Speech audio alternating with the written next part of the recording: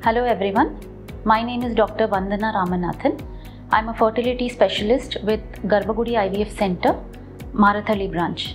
So today I'm going to talk to you regarding the steps in the process of IVF. So first and foremost, let us understand what is IVF.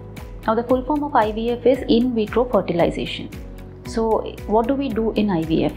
So once a couple comes to us, first we evaluate the couple and based on the couple's history and the results that we get of their uh, blood tests and sonography and semen parameters we plan what treatment the couple requires.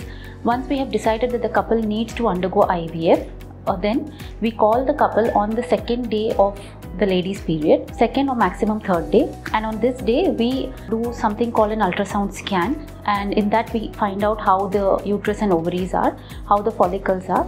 And if everything looks fine we do a blood test uh, to check for the hormonal parameters. Once everything is normal, we decide to go uh, for the first step of IVF, which is called ovarian stimulation. Now, what is ovarian stimulation?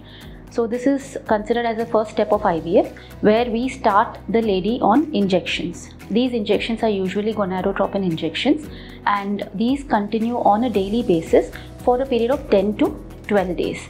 Now, during this 10 to 12 days, we also call the lady for monitoring her follicular growth, that is called follicular monitoring scans, which is probably uh, 4 to 5 times over the period of 10 to 12 days. And we also do a few blood tests, these are hormone tests again, 2 or 3 times in the course of the ovarian stimulation process.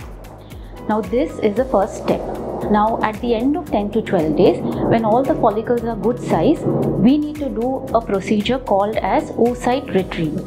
That is the second step of IVF.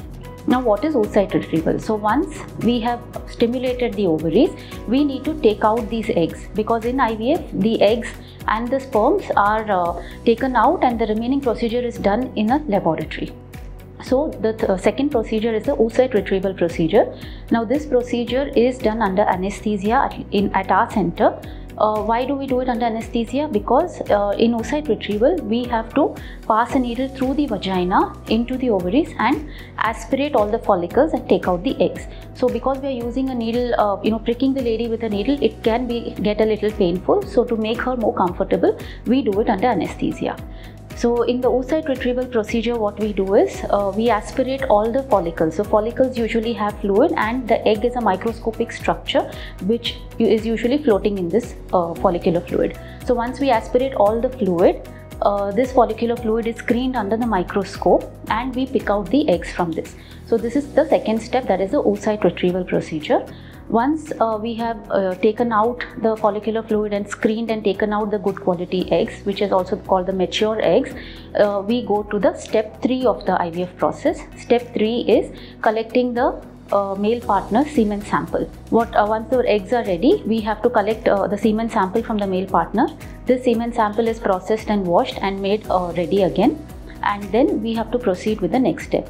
So uh, we have seen that we have taken out the eggs and uh, you know prepared the sperms. So coming to the step 4 of the IVF procedure. Now the step 4 of IVF procedure consists of injecting the eggs with the sperms. Now there are two ways to do it. One is simple IVF where the eggs and sperms are kept in a dish and they're allowed to fertilize on their own. And the second is a more advanced procedure called ICSI that is intracytoplasmic sperm injection where each mature egg is injected with a good quality sperm by the embryologist in the IVF lab. So this is the step 4 of the IVF procedure where the eggs and sperms are, the eggs are injected with the sperms. Then, then comes the uh, fifth step where on the day after the injection of the oocytes, we will be looking for fertilization of the eggs that is called FERT check. And after this is the culture of the embryos. So once the oocytes are fertilized, the fertilized oocytes are allowed to stay in culture for a period of 3 to 5 days and uh, depending on how the embryos progress, the uh, good quality embryos, either it can be day 3 embryos or day 5 embryos also known as blastocysts, these are now ready to be used. So uh, this is the procedure of IVF. Now coming to the final step is the embryo transfer. Now, uh, as we have uh, you know seen, now embryos are ready. Now, what is embryo transfer? Embryo transfer is the final step where the embryos are uh, inserted into the uterine cavity and uh, this can again be done either as a fresh embryo transfer or a frozen embryo transfer. Now, whether a couple requires fresh embryo transfer or frozen embryo transfer will depend on their history, uh, their other parameters, and usually this decision is taken by the doctors and the couple after a proper detailed discussion. So, if it's a fresh embryo transfer, on the days that on the day that the embryos are ready, uh, the good quality embryos, one or two, can be inserted into the lady's uterine cavity. In case it's a frozen embryo transfer, the embryos are frozen on the day that they're ready. And after a period of maybe a break of one month or so the lady's uh, uterus is again prepared for an embryo transfer. Uh, so how do we do that? We usually you know start her on some medications to help with the growth of the lining. Once the lining is of good thickness and it's looking healthy then we transfer these embryos into her uterine cavity with a very thin catheter called a embryo transfer catheter.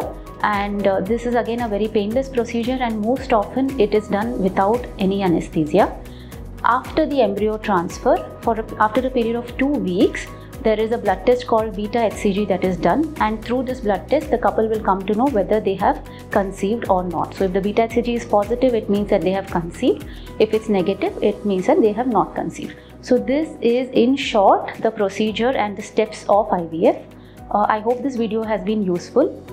If you still have any queries please feel free to drop your questions in the comment box and we will answer them Thank you.